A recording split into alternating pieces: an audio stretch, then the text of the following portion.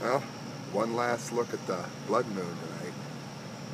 It's kind of cool that the, uh, the way the uh, clouds are going over it right now. Glad I captured that. I'll be going to bed soon. But I figured you might like to see this for those of you interested in the blood moon. That looked really sweet.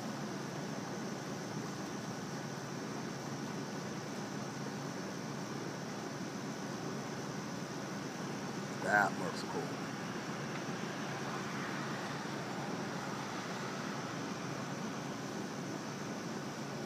Yeah. That'll be one of the coolest shots you see of it, probably.